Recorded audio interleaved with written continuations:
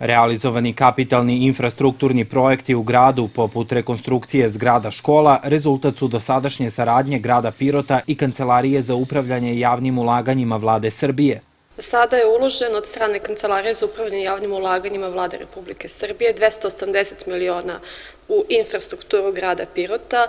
To je zaista jedna odlična saradnja, dugi niz godina sarađujemo uspešno sa ovom kancelarijom. Nastavlja se realizacija projekata u oblasti obrazovanja. Prošle nedelje smo poslali poslednju korigovanu verziju projekta gimnazije, procenjena vrednost je 225 miliona dinara. Naravno, vidjet ćemo da li će nam kancelarija usvojiti sve sugestije koje su nam oni i poslali. Dakle, projektovano je po njihovim e, sugestijama. Takođe i druga faza 8. septembra gde uskoro planiramo i novu javnu nabavku kao i e, projekat e, Mladost, s obzirom da tamo planiramo izgradnju kompletno nove fiskulturne sale.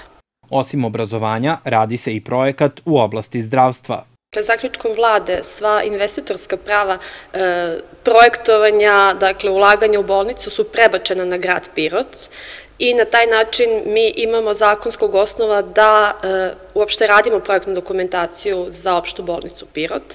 Prva faza već izvesno vreme se razi, radi projektovanja, kao što ste rekli, u pitanju je omotač, dakle zamena spoljne stolarije, krovnog omotača, uopšte izolacije objekta, tako da nadam se da ćemo do kraja godine već imati potvrdu i raspisanu javnu nabavku za ovu fazu.